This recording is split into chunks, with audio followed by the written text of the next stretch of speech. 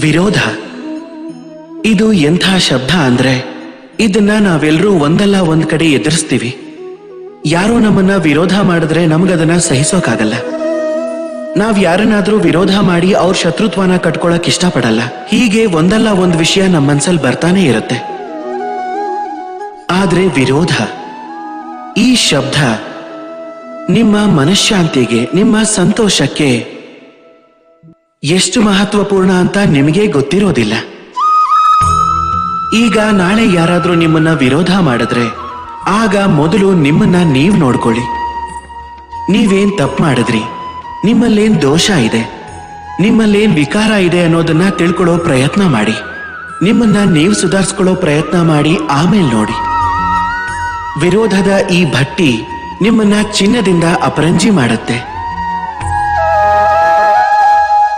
ಪ್ರಪಂಚದಲ್ಲಿ ದುಷ್ಟತನ ಹೆಚ್ಚುತ್ತಾನೇ ಇದೆ ಅಂತಾರೆ. ಅದಕ್ಕೆ ಕಾರಣ ಕೆಟ್ಟ ಜನ ಹೆಚ್ಚಾಗ್ತಿದ್ದಾರೆ ಅಂತಲ್ಲ.